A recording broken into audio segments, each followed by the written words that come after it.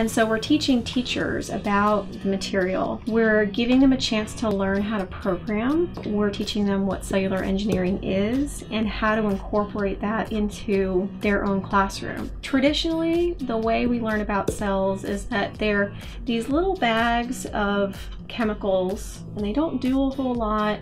Well, we want to transform how we think about cells, turn it into something a little bit more engaging and a little bit more something that you could actually engineer, like little biological robots like a cell, it has all of these different parts that can relate to a cell's organelles, and each of them are designed to do a specific thing, and they each have a program, kind of like the robot is a program. They both need to make decisions on some kind of stimuli from the outside world, and then they're continually trying to make decisions on what they see or whatever the kind of information they're picking up. One of the ways that we try and broaden participation in the STEM field through our workshop is we look for students that the workshop would make a critical difference in their life one of the ways that we do it is we ask teachers to nominate students that don't have access to a lot of science enrichment. They might be from uh, different backgrounds that are traditionally underrepresented in STEM, but they have a spark.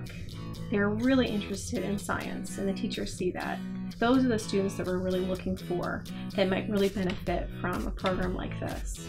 When I was looking at the workshop and making decisions about what, whether I wanted to attend or not, one of the key factors was seeing that you wanted us to bring students. And what I realized is this was really powerful as well because it kind of put both the students and me in a very similar playing ground. It was very frustrating when I first do a program and I can't really make the robot move the way I want. So it seemed a lot easier. Now when we're trying to actually do photo phototaxis, we kind of have to do a lot of variables.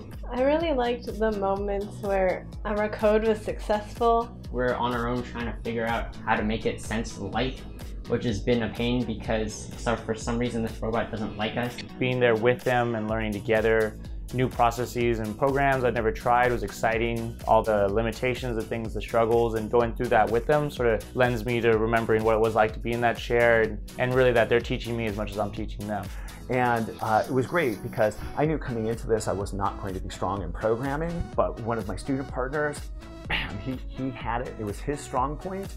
Um, and I was able to kind of think about what did we need the robot to do. I mean, this was really cool. I mean, for me, that was one of the highlights. I, I would absolutely encourage you to continue incorporating the student perspective.